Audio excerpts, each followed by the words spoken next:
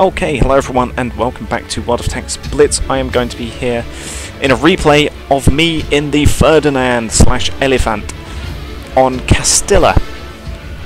Uh, and this was a pretty good game, I do have to say. I was I got myself into a decent position in this game. It is of course a tier 9 game, um, as, as you do. Um, we've got a what VK4502B and a Ascent. They have Ascent and a Conqueror.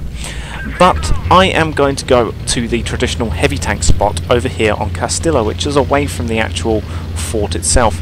Now our T um, our T-34 Independence turns around for whatever reason. He's a heavy tank. He should really be going with me over here. Um, but instead, I am going to do the main heavy tank lining uh, on that ridge line just up there with the other German Tier 8 tank destroyer on our team, the Jagdpanther 2, where the Elephant is based off of the chassis of the Tiger P, the Panther 2 is, the Jagdpanther 2 is obviously based off of the Panther 2. So, yeah, me and him, we're going to do the work up here. He spots the KV Fortress and the IS-3, puts a shot into the KV Fortress, takes one in return, and then I derp a shot right into his front.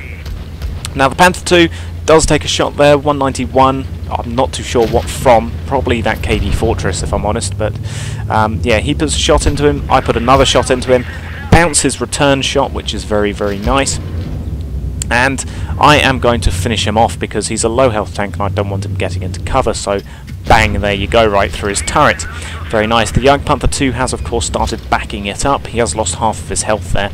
Um, now, there is, of course, their Jagdpanther 2. There he is, just going to bang, very nice, thank you very much, right through his upper glacis. I was actually aiming for his lower, try and get his engine, maybe start a fire, or rather transmission, but then uh, we spotted T-54 lightweight, so yeah, don't mind if I do, thanks very much.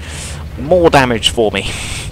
um, and of course he's getting shot now from someone else down there, probably the VK. Gonna just do a blind shot into that uh, Panther. We do manage to actually hit that blind shot, which is very nice. There is, of course, that Conqueror over there. The Jagdpanther does get finished off by someone. There's the Conk. There's the T-54 Lightweight, gonna finish off him, he's on low health. Now, unfortunately, our Panther 2 does die to the Scorpion G. However, I am going to try and avenge him by... Look at that. If you ever have an IS-3 doing that, and you're in a position like this, Go for that engine deck. You can see uh, that's what I'm trying to do. And watch this. Unfortunately, that one misses. Don't watch that. Watch the next shot. Because you can hit the engine deck of that IS-3, as he is going to find out. Um, here we go. Bang! Engine deck. Fire. I mean, look at that. He he's at a he's at a bit of an angle, which is how I was able to get the shot into uh, into his engine deck. And watch this unfortunate HE shell. If it had, if it had hit anywhere else, I would have got the kill for that. But instead, the Scorpion G gets finished off by the T-34 Independence, and the Scent finishes off the IS-3. Still, 3,600 damage, first class mastery, 23,000 credit income. With two vehicles destroyed, I of course voted up our Jagdpanther 2 because we were having a bit of a field day up there, it was very nice. Their highest was the Scent. I mean, everyone else, three of their team did absolutely nothing.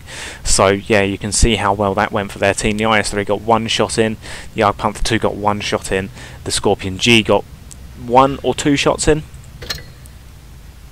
Not too sure. He fired five shots, four hits, two pens, so he got two penetrating hits, um, one of which was obviously a low health kill on the Jagdpanther 2 on our team. Um, but anyway, so yeah, that was just a, a very nice game in the Ferdinand. Um, yeah, just a really fun field day in the Elephant on Castilla. So I thank you for watching and goodbye.